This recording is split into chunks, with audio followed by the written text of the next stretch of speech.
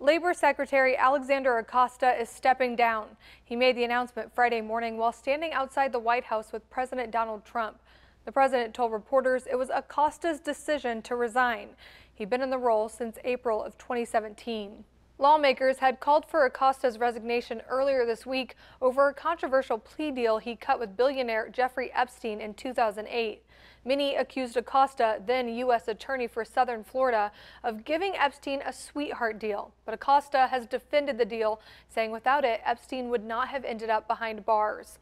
Epstein was recently charged with operating a sex trafficking ring and sexually assaulting dozens of underage girls.